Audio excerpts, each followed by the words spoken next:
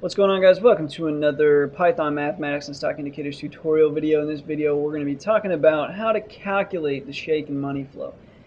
If you don't have the sample data already, so you haven't maybe been following until this video, this is where you're going to get the sample data that we're going to be working with real quickly. And that's going to be uh, sentdex.com slash sample data.txt. Just uh, control A, control C, and you have the data.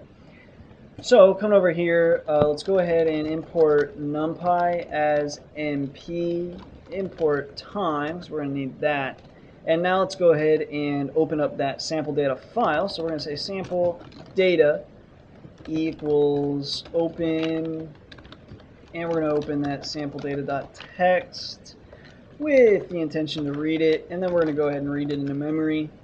Then we're going to split that file. So split data equals sample data dot split.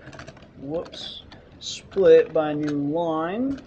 Then we're going to go ahead and do date close p high p low p open p volume equals np dot load text. What text do we want to load? We want to load up split data.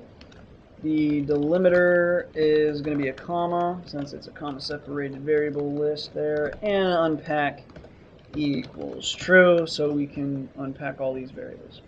Next, we want to define CHM lowercase o capital F.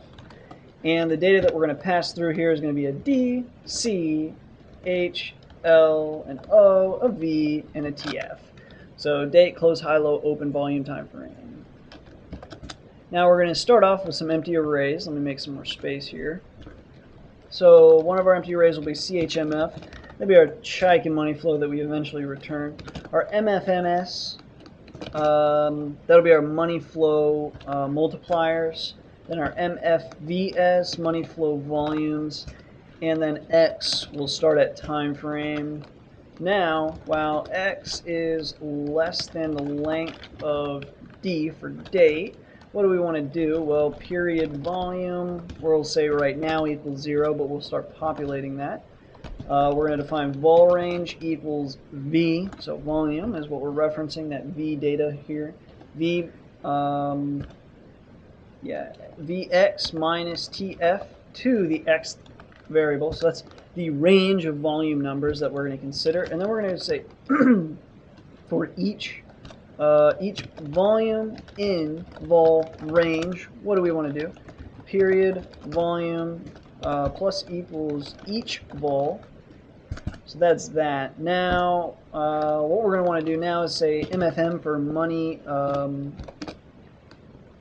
money flow multiplier. What we want to do is um, put some parentheses and inside there add two more parentheses and we're going to say basically it'll be C minus L for clo or uh, yeah close minus the low, and then it's a minus the high minus the close, right? Then it was divided by what? The H minus or the high minus the L. Then the next thing we have to do is we have to make this the x uh, variable in that array. So I'm just going to copy that and uh, behind every uh, letter there, you add x, since it has to be the x. Done. MFV equals MFM, oops, I made that a C, MFV equals MFM times uh, the period volume.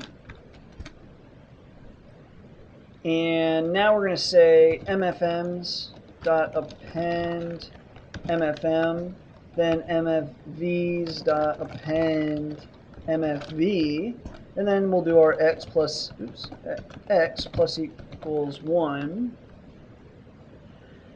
And now we've done that. So we've got the MFM and we've got the MFV. So step 1 and step 2 is done, but we still have to calculate that uh, and money flow. so y equals time frame, and then while y is less than the length of um, Hmm. Uh, just to be safe, we'll do MFVs. We probably should do date, but that's okay. We'll lose a little bit more data on the end, but again, the moving averages and stuff in the starting point will uh, make that not matter.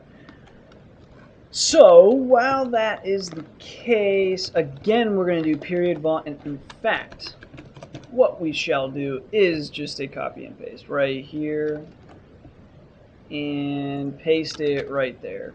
So we don't have to redo that. So the period volume stuff, we'll, we don't want to redo that again. So uh, once we've done that, then we're going to say consider. So the array that we want to consider now is MFVs.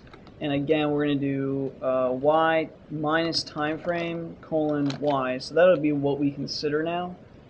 And let's make some space here and it's going to be TFS MFV equals 0. Then for each MFV uh, in consider TFS MFV plus equals each MFV. So that's basically like you know like this time uh, time frames money flow uh, volume here. Now uh, what we want to do is we're going to say uh, TFS CMF equals TFS money flow volume divided by that period volume. And then finally we have our CHMF dot append uh, TFS, oops, that's lowercase, TFS CMF. Um, so time frames, Chaikin money flow. And then this is just simply uh, Chaikin money flow uh, that we're appending up here. So now uh, we finally need to do an x or a y plus equals 1. And then at the end of this, we return date, and we're going to do time frame plus time frame colon, and we'll return uh, CHMF. Um, that way they're of equal length. And then CH uh. What is the data we want to pass through that? So like what's the data we want, like it's date, close, high level open. So instead of typing that all again, let's just highlight this, copy, come down here, paste, whoops, not that many paste, one paste, and then we'll use a time frame of 20. So what that's going to do is generate this with a time length of 20, and then at the end of all this, we can just print uh, CHMF just to see like what if we get results that we think look right. So we can run that, and I'll just drag over the results. Um, so it looks like you know about what we're looking for, right? Um, so the best thing now that we can do is just plot it up and make sure that's exactly what we were uh, hoping to achieve with our Chaikin money flow. So in the next video, that's what we'll be doing. If maybe I went a little too fast in this video, let me uh, zoom out with a smaller font here and talk again over what we just did. So let me apply. Let me pull up the, uh, oh, that was the old image. Hold on, let me pull up the uh, money flow real quick. So the idea first is to find the close minus the low minus the high minus the close divided by the high minus the low. So of course that's what we did right here, and that's known as the money flow multiplier. Then step two is to take that money flow multiplier and multiply that times the time frames or the time frame periods total volume. So the way that we did that was we got that time frames total volume with this uh, thing right here, right? It just adds it all to period volume at each at each step of the way. So then that's what we're doing here. So here's step two, right? And this is also sort of part of step two, but this is mostly your step two.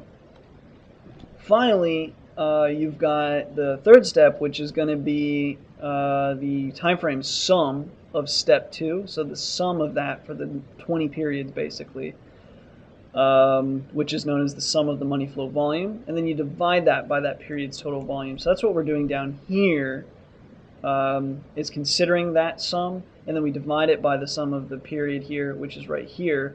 So this time frames CMF, so it's time frames uh, Chaikin money flow, and then at the end of that we start we append all of the uh, Chaikin money flows, and then we return all of the uh, Chaikin money flows. So hopefully that clears that up if I went maybe too fast through that. Now, in the next video, what we're going to do is actually uh, chart this up. It's pretty simple to chart it up and add it in there, as you guys have probably found. Um, so anyways, that's what we'll be doing in the next video. As always, thanks for watching. Thanks for the support and the subscriptions. And until next time.